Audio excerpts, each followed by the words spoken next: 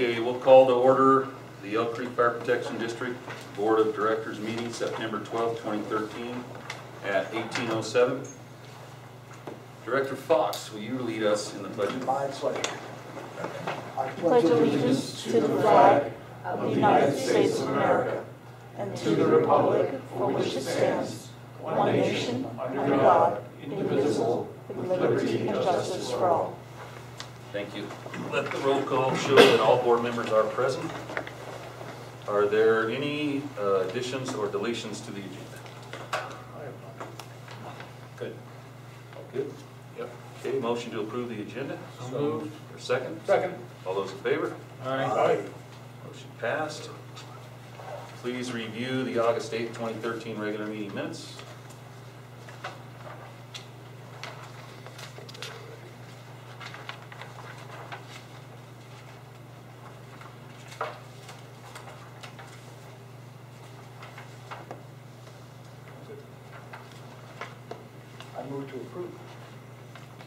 Second. All those in favor? Aye. Motion passes. That'll take us to the financial matters. Um, We have our normal financial report for August, uh, and we have attached to it the detail, and we are now pretty close to being done with our new chart of accounts. and Things are, right, Just tweaking it. just tweak, still tweaking it, but it's, but it's really in pretty good shape, right? Okay. Uh, the expenses are not just the disbursements this time, they're the total expenses that we incurred. Is that right? Okay, that includes the uncollectible accounts, non-cash disbursements. So therefore, I move that we approve the expenses of hundred and eleven thousand, five hundred and eighty-six dollars for the month of August. Second. Second. All those in favor? Aye. Motion passes.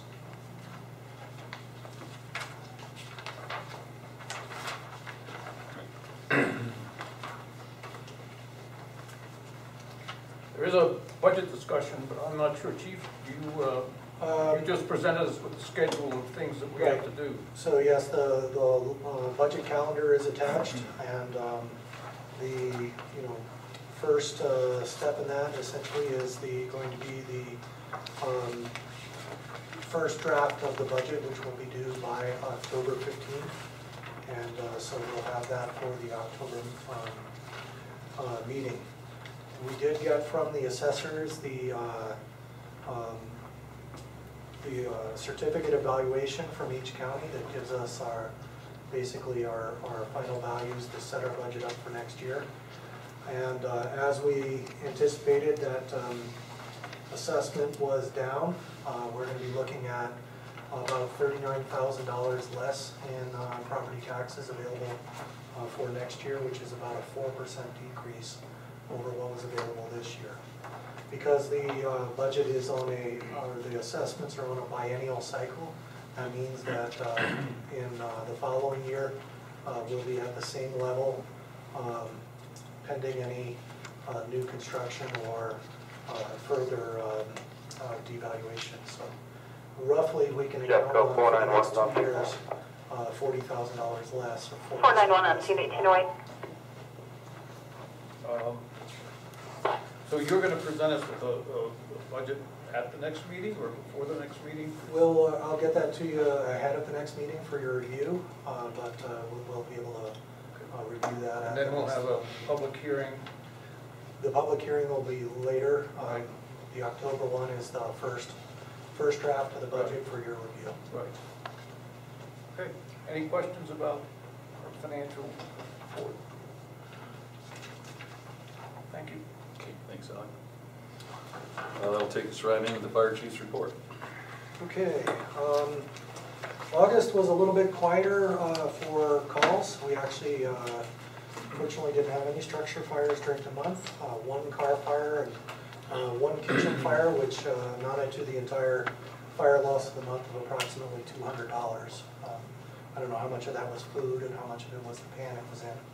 Um, the, um, We did, uh, um, we had about thirty, or thirty-five EMS calls, uh, which was down from, uh, uh, both uh, June and July. Um, And uh, no particular reason why EMS calls were down for the month, but we had um, fewer transports during the month with uh, 20, um, actually that should have been 21 uh, transports rather than 20. Uh, The other um, kind of uh, significant uh, thing that we had in, during August is that because it was an extremely busy wildfire month across the country, we had requests and um, had personnel out assisting on fires in, in several different states during that, during the month.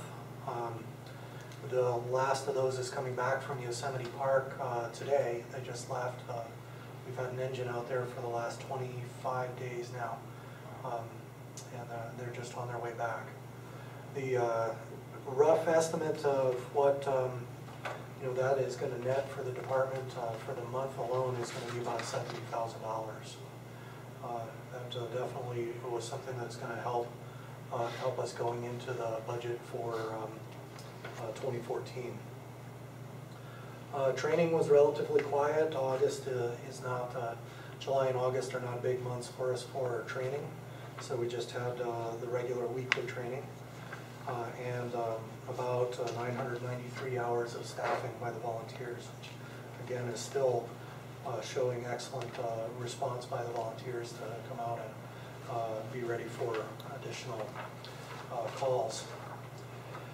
Uh, We did uh, pick up the laptops for the ambulances on the, um, on the state EMS grant. So those are uh, basically waiting for uh, our IT guy to get those mounted in there, but they're actually sitting right over there on the counter. Um, The uh, only other thing that I have for the report this month is that uh, I'd like to go ahead and, you know, the, if you recall, we talked about two different, or fleet reduction ideas uh, pending uh, the mill levy or not. And we've got some vehicles that uh, we know that we would not be retaining under either of those, uh, of those possible plans. So I'd like to, uh, you know, have a motion if possible to uh, go ahead and, um, and uh, declare two of those vehicles surplus that we're not currently using much now. One is the Jeep Cherokee that was the training officer's car in the past. And then the second one is the rehab unit, which, um, while it's a very useful, uh, useful for us once or twice a year, uh, the majority of the year it doesn't, uh, doesn't move very much. And I'll be working with our uh, support team on um, basically coming up with a way that they can utilize one of the other vehicles to, uh, you know, bring food and coffee out to firefighters when we have major incidents. Uh, We do have, um, uh, Platte Canyon Fire is actually interested in picking that up as a, uh, to replace their third out ambulance, which is only a two-wheel drive. And so if we did surplus that, uh, it would be going to a good home close by. Okay. I'd like to move that we accept the chief's recommendation regarding the status and disposal of surplus vehicles. Okay. All those in favor? Aye. Okay, that motion passes. And that's really all I've got for this evening. Okay, any questions for the chief? There is actually one other thing that uh, I didn't get on the report there, and I did uh, pass that around to everybody, and it's available for, uh, for any of the, um, any of the members of the audience here. The, uh, you know, there had been uh, some questions that were brought up uh, from people who had looked at our audit and uh, wanted to get more detail on what uh, we had spent money on uh, last year.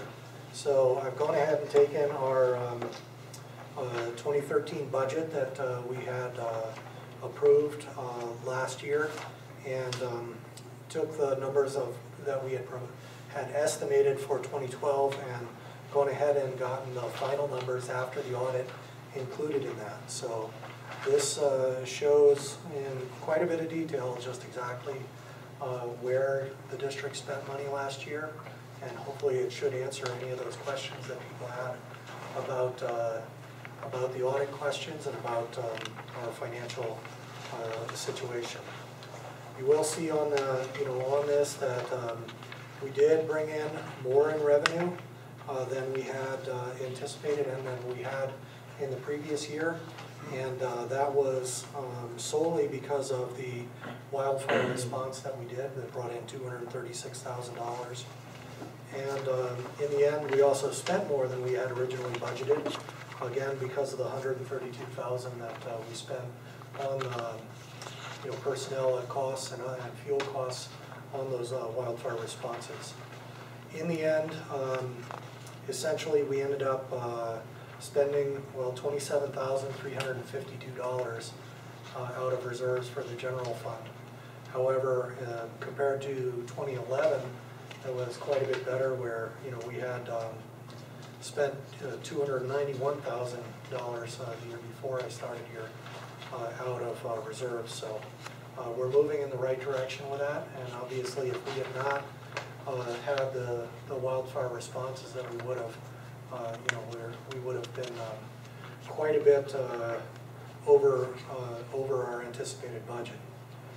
You know, one of the other reasons that, uh, you know, that that number ended up lower than it did, if you look at the actual um, tax revenues that we got on, on the first page there, uh, we actually received eight hundred eighty-three thousand, and uh, that was significantly below uh, the actual tax assessment that we were due. So there was a lot of unpaid taxes uh, in 2012. Um, Hopefully, at some point, you know, when the uh, housing market turns around, uh, that uh, would, would be returned to us in in delinquent taxes. But, uh, you know, in some cases where properties, you know, we've got some properties that have been sitting vacant for a number of years now, and it may be a long time uh, before we see those properties uh, return that delinquent tax. Uh, We are gonna go ahead and budget, um, you know, as we move into next year, we're gonna continue to budget for one hundred percent collection on taxes, uh, because that is, you know, the, the uh, guidelines that the state gives us on that, but, um, you know, I would anticipate that even the number that we have for twenty thirteen uh, will be lower than, than what we have budgeted. This will be made public as soon as. This is, this is available to the public for, you know, anybody who who would like it, yeah. Very good. Okay. Anything else? Nope, that's all I have. Okay, any other questions for the chief? Um, All right, any old business from the board? Seeing none, any new business from the board? Seeing none, any citizens issues tonight? Seeing none? Motion for adjournment? So, All those in favor? Or second? Okay, sorry. I had to do that. Okay. All those in